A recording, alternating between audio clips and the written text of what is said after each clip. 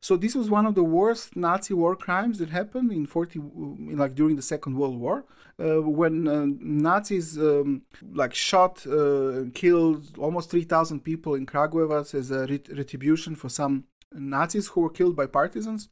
Including what? A lot of these people were like children or something. Yeah, yeah, a lot of Yeah, yeah, were like a lot of school children. So he, yeah. he so and so this forma- Ljotic, uh, this pro Ljotic formation had a like an active part in this slaughter. They uh, were a part of that, and so Strahinja Janjić was a part of that. And because he had uh, like they were satisfied with his role there, he was appointed uh, mayor of Kragujevac.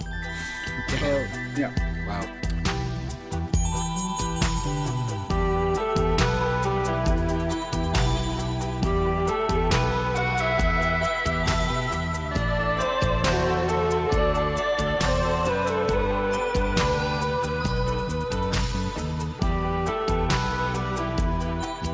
Fritz here.